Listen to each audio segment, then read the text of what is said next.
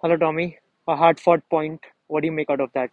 Yeah, I think it was uh, it was a tough game. Uh, Kerala really came strong. Uh, they you know positive runs. Uh, they maybe they were maybe in a little bit uh, better better atmosphere before this game than us, but I think we fought really well. We really made ourselves hard to beat. We didn't give too much chances. We scored. We had the game under control. Unlucky to concede, but I think it's a lot of positives.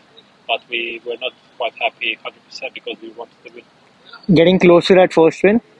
Yeah, I think it's getting closer. I mean, we didn't plan to be six games without a win, but it's a tough league. Uh, every game, if we show this kind of uh, togetherness and uh, encouragement, we encourage each other, and we are hard to beat. I think we always have a 50-50 chance in every single game in life. So Thank you. Good luck for the next game. thank you very much.